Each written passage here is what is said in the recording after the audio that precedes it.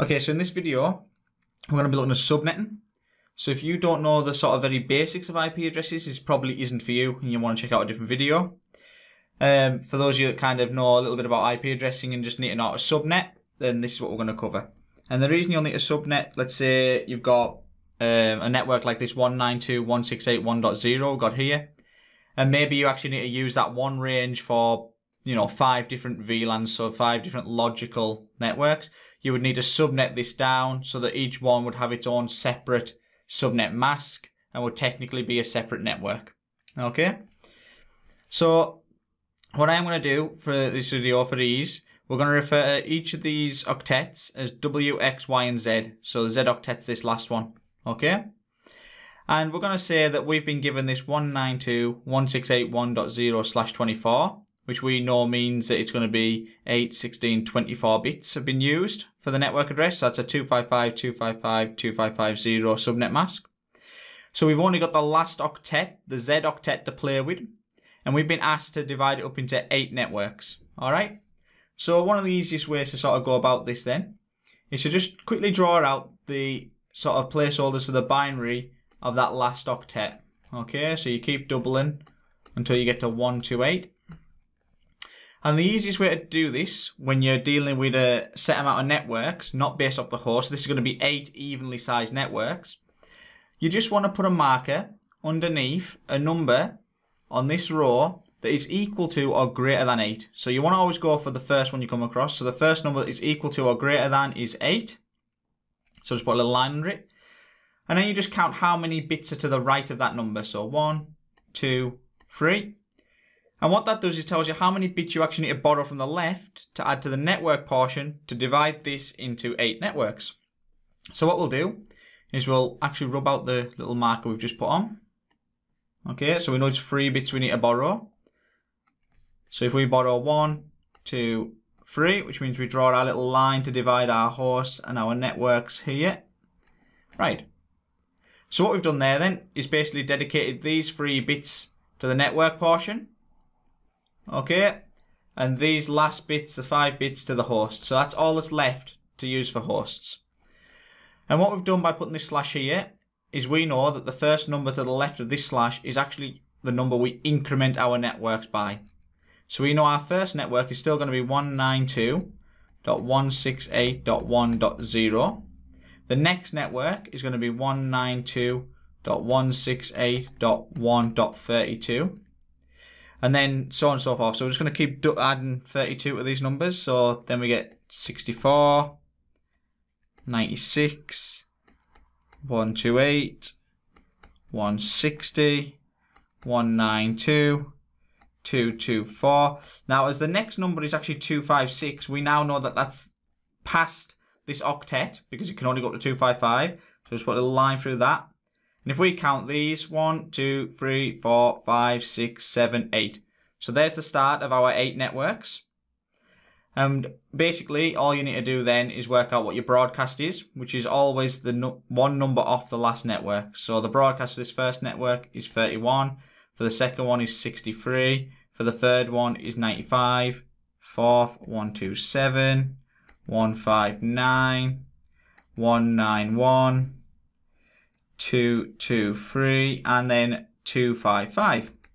So straight away, with a great bit of ease, you've worked out the network, the network for all eight, the network ID, and you've worked out the broadcast address, and then obviously your hosts are just the numbers in between, so 1 to 30, 33 to 62, and I'm not going to draw them all out, but you get the picture.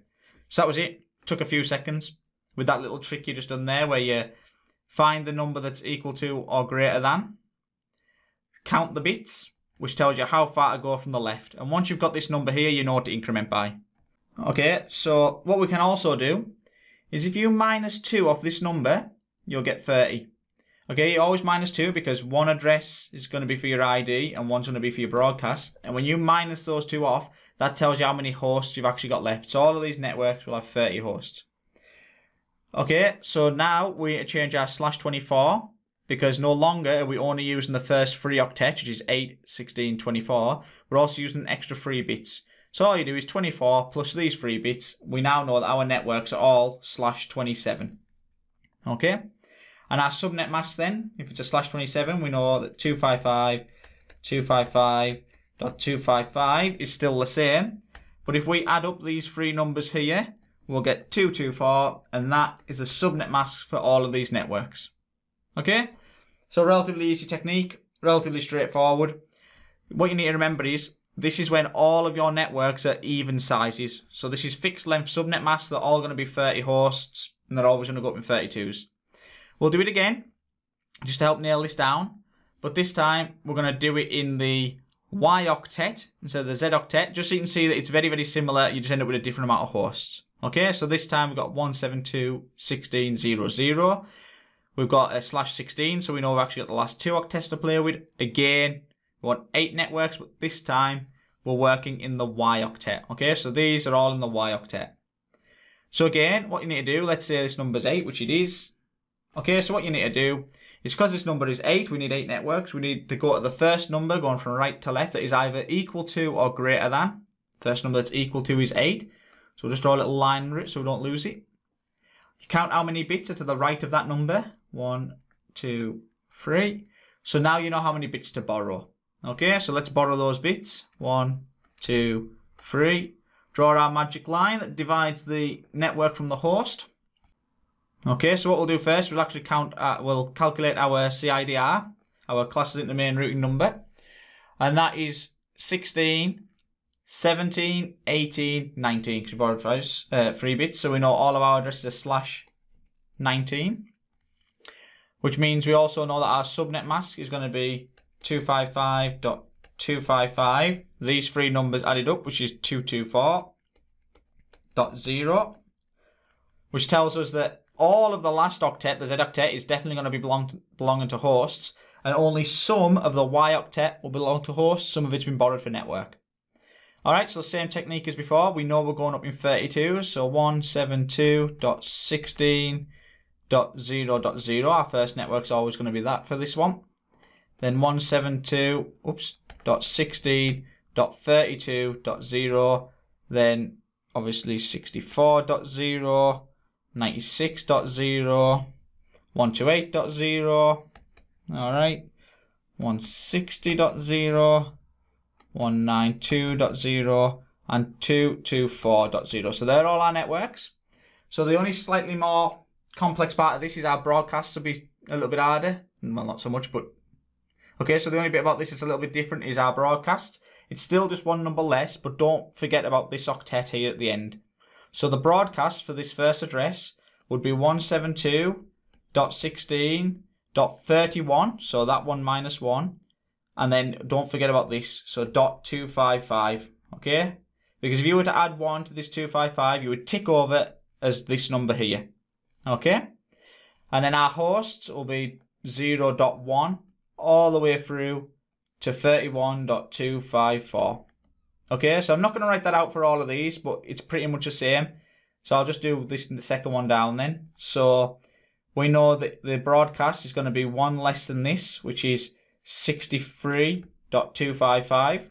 Okay. And then we know that the, the host, the usable host, will be 32.1 right through to 63.254. Right, so hopefully that makes some sense. It is a fairly easy technique once you've got your head around just sort of remembering how many bits to take. One part also is different because we're working in the Y octet. Obviously, if you minus 2 from this number here and get 30, there's well more than 30 hosts in here. What you need to do, and I'll just, um, let's add another page.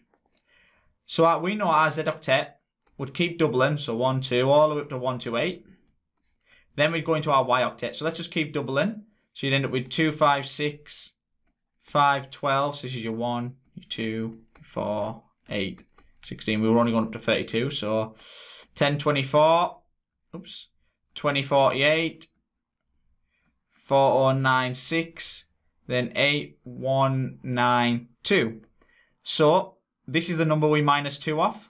So we know that 8190 is how many hosts we will have in all of these networks. All right, so we'll have eight networks and they'll have 8,000 odd hosts each. That is fixed length subnet masks.